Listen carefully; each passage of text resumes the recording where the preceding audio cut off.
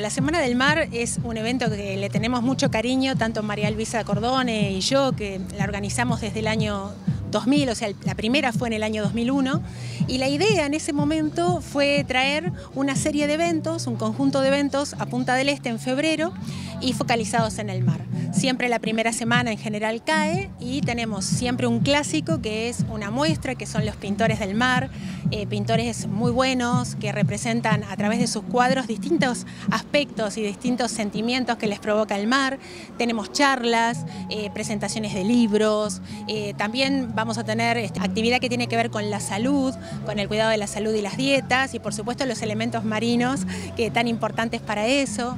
Siempre tenemos música desde DJs en vivo o por ejemplo conciertos de, cantantes, en este caso Vivian Jourdan. En resumen, la Semana del Mar es una serie de actividades que armamos para la gente, la gente de aquí, los turistas también, siempre focalizados en el mar, tratando de que nos encariñemos cada vez más con él para que aprendamos también así a cuidarlo acompañando otra vez esta propuesta, interesante, participan muchos vecinos de Punta del Este con diferentes cosas, así que bueno, importante los salones de la Liga Fomento, que siempre está para, para acompañar propuestas culturales, y en el caso de este, bueno, algo tan importante como es para Punta del Este del Mar, y no vivir de espalda al mar como a veces vivimos, también el municipio va a participar con el fin Bajo la Arena, donde muchos puntaesteños dejaron su relato. Esto fue una patriada de cuatro mujeres hace ya por el año 2001, bueno, que hoy sigue viva y siempre el municipio participa muy activamente de esta actividad. Así que, este, bueno, los invitamos a,